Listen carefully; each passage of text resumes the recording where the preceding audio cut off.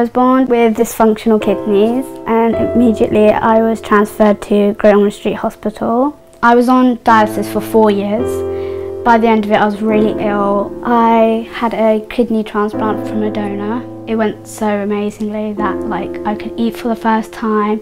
I did everyday normal things that I couldn't do before like go to school, be a normal five-year-old girl again.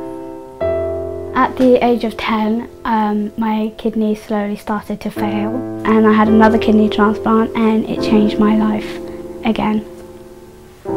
I have had so much more energy, just being able to do so much more with myself in my life, having different hobbies that I've never had before such as doing makeup, try on clothes, you know these are things that I'm very grateful for.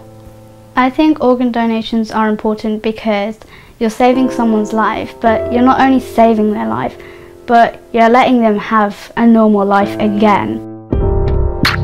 If you needed one, you'd automatically take it.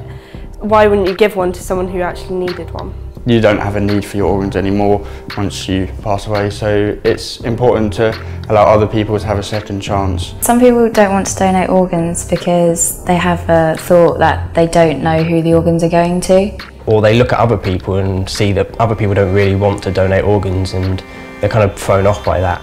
They feel that their organs aren't good enough. For example, a smoker might feel that his lungs aren't good enough. It's your choice. You shouldn't necessarily do what friends or family members think you should do. It's up to you. I think anybody who wants to sign up to the organ donor register, it's definitely a good thing to do. It's quick and easy. It's a two minute thing online. You can apply while doing other things like a driving licence or something. You won't have to remind yourself about it later on in life. Go for it because you've only got one life. You might as well help as many people as you can in that life. If there's someone out there who desperately needs it and could live if you help them, it's just kind of a no-brainer.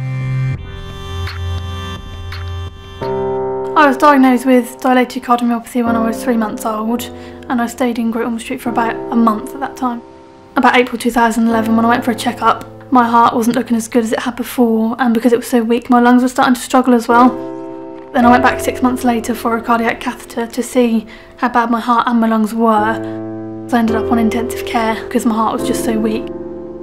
I got told I needed a heart transplant because that was the only option left. The transplant changed my life by giving me a lot more independence and allowing me to do more things with my friends and my sister, like going shopping and going to concerts and things like that, because I could never do that sort of things before.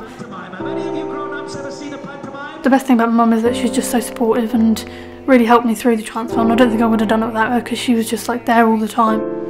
I think it's important for younger people to know about organ donation because it really does make a big difference to not just the recipient's life but their family as well. I can understand why people wouldn't want to and it is a personal decision but I think if you saw the benefits of it then you wouldn't hesitate because it is a really good thing to do.